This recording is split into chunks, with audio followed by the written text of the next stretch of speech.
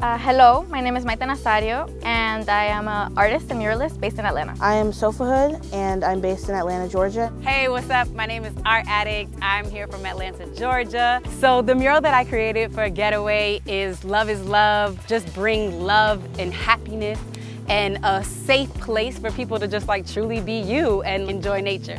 So for this mural, I really wanted it to look like a dreamscape and I wanted it to obviously invoke ideas of gayness and gay happiness. I think that a big inspiration for this mural is definitely how important it is to admire nature and appreciate it, but also recognize how important it is to let ourselves be our natural best freest selves, which to me relates back to queerness and allowing yourself to express yourself fully